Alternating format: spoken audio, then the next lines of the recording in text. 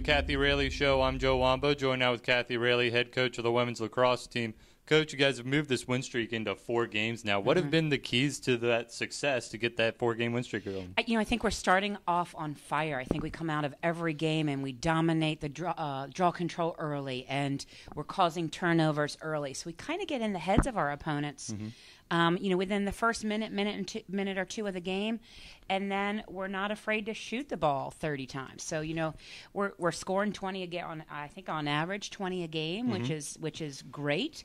We're dominating possession time. We're getting to execute a lot of our offensive plays um, getting that repetition that in games that is so important. And at one point, you talked about work in the box, and you guys have been doing that Yes. uh, successfully as well, and making long clears and having them be successful too. Sure. Well, we made, a, I think, a really key change uh, about three or four games ago, and that was putting Hannah Tankersley, um, having her run more of a midfield role, and having her run that d- defensive box position. Hannah is uh is very visible on the field. She puts up a great. She's tall. Yeah. She runs like a deer, and she puts up a great target for the girls to see. She also understands that position. So as great as it is having her height playing low on the defensive end, I think it's really helped us kind of push that transition, make us much more comfortable in transition, moving her up to the midfield. She certainly has been a weapon for you in yes, that regard. I think Now- she scored too. Yeah, I Yeah, think, she, did. has. Yeah, at least got an assist somewhere. Yes, you I know. think so. Um, with 20 goals a game, it's hard to keep Yeah, count that's right. sometimes. Uh, now, as you guys move forward into this week, you guys are playing your final two conference games Mm-hmm. against two teams that are ahead of you in the standings. How important are these two games going to be for you heading in? these these games are just unbelievably important. Um, we're going to be on the road for both of them.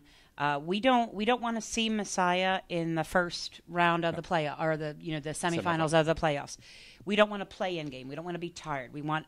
I would really like to have that time after Wednesday's game to kind of know where we're going to sit. Pretty much. I'm sorry, next Tuesday's game to know where we're going to sit uh, in the standings and start preparing for opponent who we think opponent one is and who we know opponent two is going to be. So uh, both Albright and Lycoming come with a lot of firepower. Their defenses are their weaknesses. So if we continue getting the draw, that will be the biggest impact. I think just having possession will put us in a really good position to win both of those games. As we move forward to the rest of the season, you have Mm-hmm. three more games remaining, all of them away from Mustang Stadium. How hard is it going to be to have to do that, play away?